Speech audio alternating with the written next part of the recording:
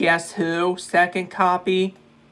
This tape is partially sealed, but I got it. I got This one's a 2006 reprint. this from the Bayou Village.